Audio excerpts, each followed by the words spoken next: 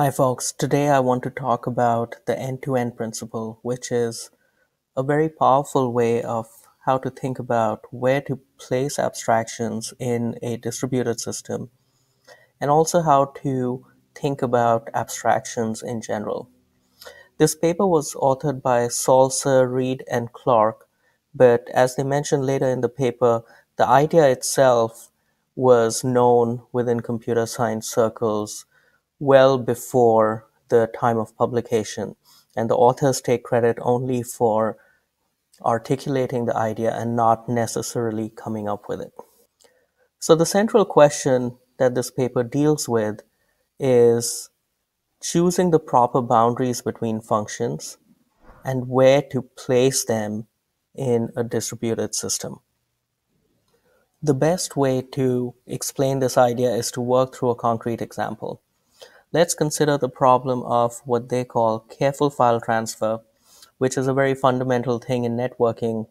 We want to take a file from one machine and transfer it across the network to another machine. And we want to make sure that the transmission was completed correctly, that the file at the destination is exactly the same as the file at the source. How does this happen? Typically, we read from the source file system.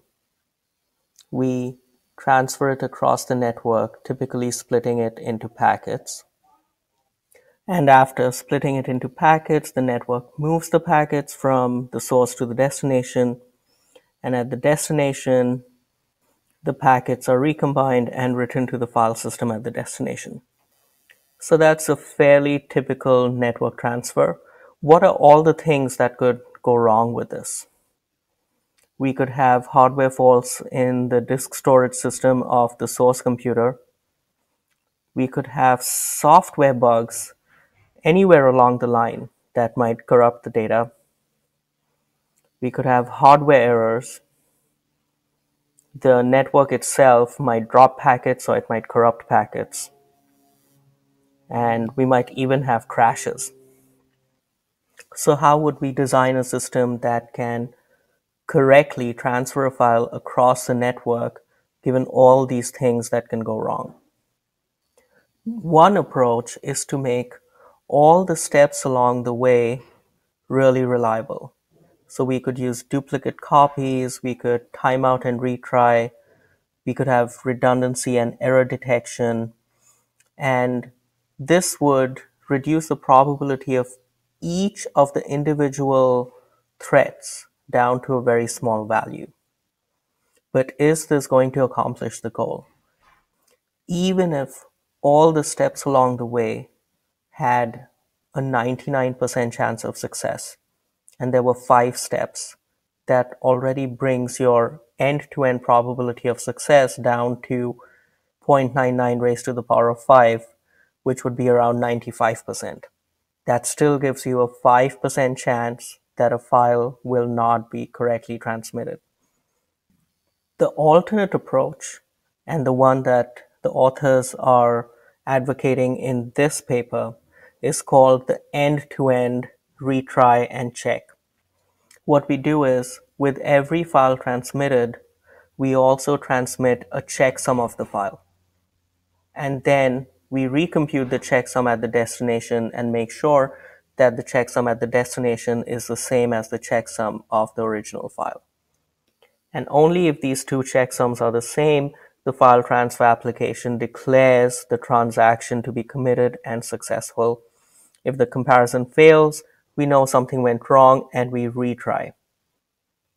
Now, in the common case where failures are pretty rare, this will usually work on the first try. And every once in a while when there are failures, we would have to retry. Let's compare this approach with the approach of making a really reliable network. Suppose that the network guarantees reliable data transmission. Does that solve our problem? If you look at the list of things that might go wrong, we have only solved number four with a reliable network there are still a number of other things that can go wrong and corrupt our file during transmission. This means that even in the presence of a reliable network, a careful file transfer application would still have to do some kind of an end-to-end checksum to make sure that it got the file correctly. And in this case, the extra effort that the communication system went to in order to provide reliability is mostly wasted because the system still has to do an end-to-end check. And this is the central idea of this paper, which is that the application program that is performing the transfer must supply an application-specific end-to-end reliability guarantee. So that's the ideal theoretical end-to-end argument, but modern systems are architected slightly differently, and the major reason is performance aspects. To understand this, we again go back to the file transfer example, and supposing we have a somewhat reliable network that drops about one out of every hundred packets. This means that the longer our file, the more poorly the network will perform in reliably transmitting it. The probability that all packets of a file arrive correctly decreases exponentially with the file length. This means that the amount of effort we put into making the network reliable has more to do with trading off based on performance rather than correctness. Note that there is a cost to making the network reliable as well. And the authors argue that there is not a strong case for pushing much in this direction, i.e. making the network very reliable, because you still need an end-to-end application level check.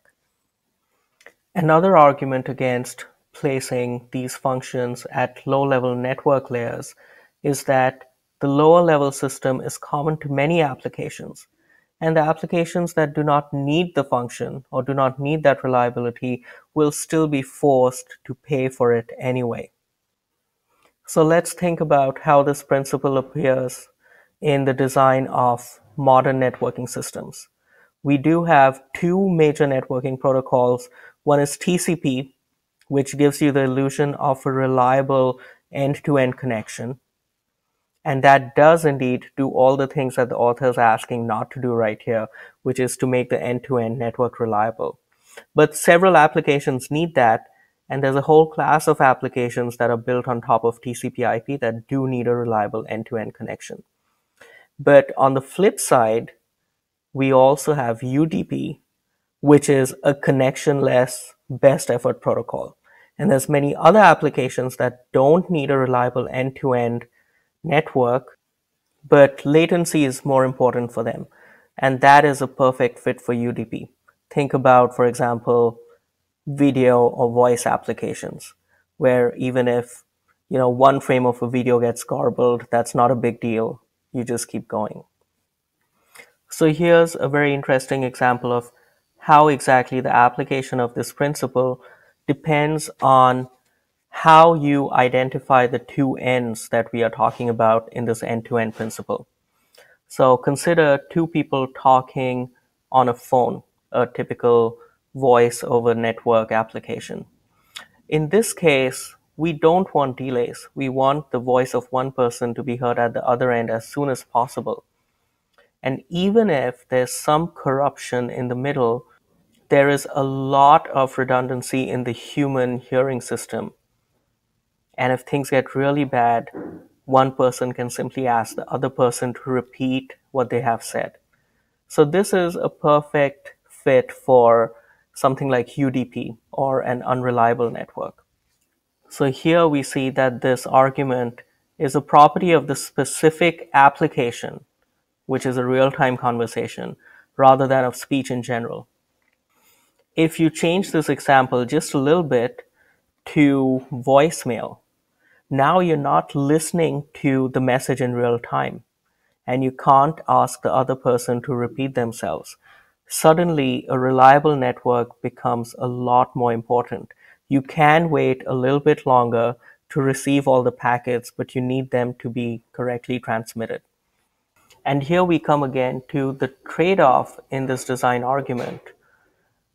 From the point of view of modularity, we would like to have a reliable in-sequence network. And that is something that a lot of applications can build on top of. But the end-to-end argument claims that the centrally provided versions of these functions will be incomplete for some applications and they will have to build their own anyway. And that is exactly why in modern systems we have network protocols which cater to both use cases. We have TCP and we have UDP. Now, the beautiful thing about this principle is that it applies to a lot of other abstractions in computers in general. And they have a couple of great examples over here. Think about the arguments for RISC versus CISC. The argument for a simple instruction set is that we can get better performance by implementing exactly the higher level things we need from primitive simple instructions.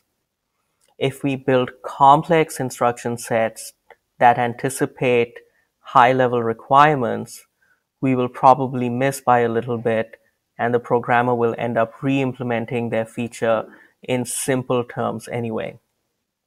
Another example is for abstractions that an operating system exposes to higher level application programs. If we expose very complicated abstractions, there's a good chance that many applications won't be an exact fit for it and they will end up re-implementing their own slightly different version of it. This was experimented with in a line of operating system kernels called exokernels so to summarize, the end-to-end argument is kind of an Occam's razor, which tells us where to put functions in a distributed system and argues for putting functions at as high a level of abstraction as possible or as high up in the abstraction stack as possible. I hope you enjoyed that and I'll see you next time.